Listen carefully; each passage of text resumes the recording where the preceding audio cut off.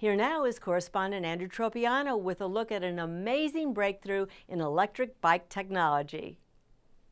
In the last 10 to 15 years, we've seen a massive increase in the purchases and usage of electric bicycles, but most of them are pretty limited in the distance they can go on a single charge. Well, a one-hour delivery company out of Kiev, Ukraine, is looking to change the game with their Delfast e-bike. While only 99% of e-bikes can go 30 to 50 miles on a charge, the Delfast e-bike can go over 230 miles. That's more than an electric car. They even hold a world record for going 368 kilometers on a single charge.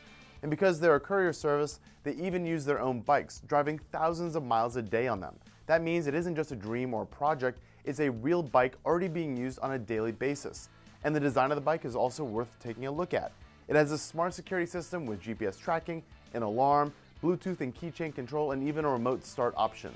It has front and rear turn signals and high intensity lights for low light situations. The Delfast e-bike really is the all-in-one option for anyone who wants to ride it in a city, in a rural setting, or even off-road all on a single charge.